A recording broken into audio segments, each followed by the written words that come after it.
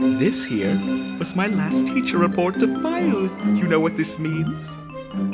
I am finally done with those bratty nightmares!